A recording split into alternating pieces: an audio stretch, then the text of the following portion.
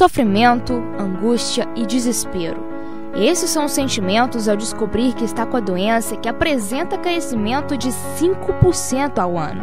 Que a pior fase do tratamento é a quimio, porque a quimio é um tratamento muito agressivo para a mulher. E aí quando você se vê careca, sem a sobrancelha, muito inchado, muito deprimido que você fica, não tem como, né? Você ficar. Foi meio que um susto, assim, porque o que eu tinha mais medo era do meu cabelo cair. A Associação de Combate ao Câncer do Centro-Oeste nasceu há 18 anos atrás para atender a dificuldade de pacientes com a doença que tinham que ir para outros hospitais longe daqui. Hoje, com um enorme quadro de profissionais qualificados, a ACOM comemora o Dia Mundial de Combate ao Câncer. Nós estamos hoje comemorando o Dia Internacional de Combate ao Câncer, coisa que nós fazemos todos os dias. Então a ACOM é super importante nesse papel, porque se não fosse ela, não seria viável o tratamento do câncer aqui na nossa região.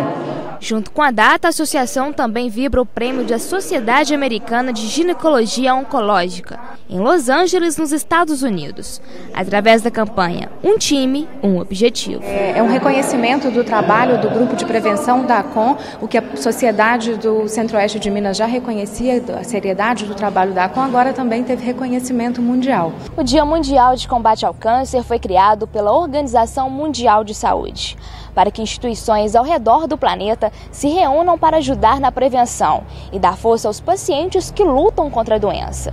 Não só em Divinópolis, mas em todo o Brasil, as ações da ACOM geram bons resultados. Mas o oncologista alerta: é preciso dar continuidade ao tratamento. Essa população que se cura, ela deve fazer o acompanhamento após o tratamento, após a cirurgia, a quimio, a radioterapia. Por quê? Porque o tumor, principalmente nos dois primeiros anos, pode voltar.